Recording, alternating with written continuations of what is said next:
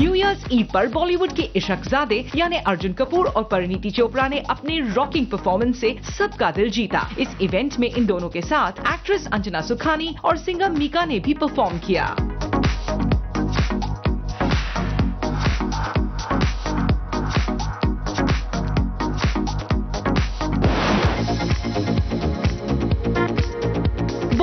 Actress Prachi Desai ने एक new year bash में पहली बार स्टेज पर लाइव परफॉर्म किया। प्राची ने इस इवेंट में बॉलीवुड के कुछ पॉपुलर डांस नंबर्स पर परफॉर्म किया।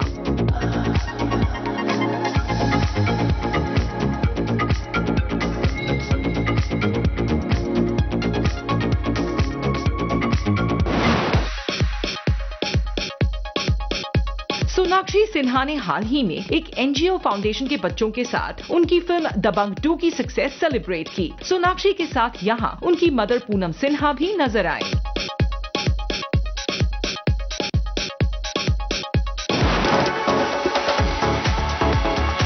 दीपिका पादुकोण जैकलिन फर्नांडिस और अमीशा पटेल यानी रेस टू की लीड एक्ट्रेसेस ने रिसेंटली एक ज्वेलरी ब्रांड के लिए किया एक स्टनिंग फोटोशूट जहाँ ये सारी एक्ट्रेसेस दिख रही थी काफ़ी गोर्जियस